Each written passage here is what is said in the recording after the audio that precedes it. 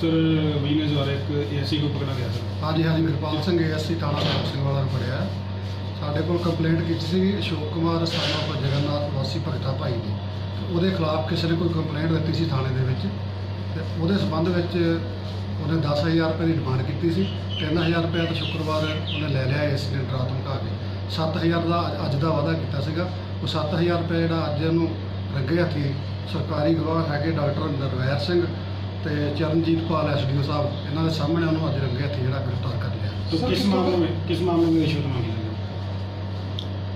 complaint ਕੀ ਸੀ complaint ਸੀ ਨਾ ਉਹਦੇ ਖਿਲਾਫ ਨੇ ਕੀ ਮਾਮਲਾ ਕੀ ਦਰਜ ਸੀਗਾ ਜੀ ਉਹਦਾ ਹਾਂਜੀ ਕੰਪਲੇਂਟਰ ਨੇ ਕੀ ਮਾਮਲਾ ਉਹਦੇ ਤੇ ਸੀਗਾ ਕੋਈ ਜਿਹੜਾ ਕੋਈ ਕਾਰਕੁਰ ਦਾ ਰੌਲਾ ਸੀਗਾ ਵੇਖਿਆ ਅ- ਅਸਲੀ ਜਿਹੜੀ ਗੱਲ ਸੀਗੀ ਕਿ ਉਹਦਾ ਕੋਈ ਪੈਸਿਆਂ ਦਾ ਲੈਣ ਦੇਣ ਸੀ